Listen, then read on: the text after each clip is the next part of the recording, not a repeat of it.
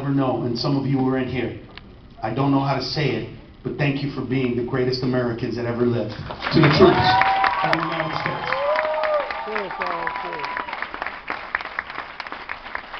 So that you could go home loud and, and fuck him like you used to.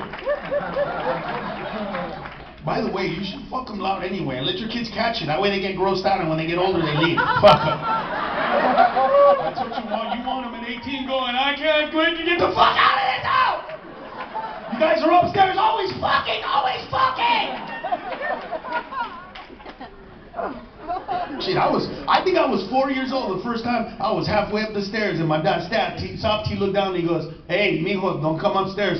I'm gonna fuck your mom.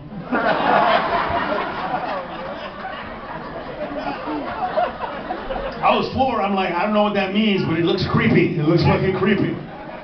Look at his face, he was like, mmm, like it was creepy.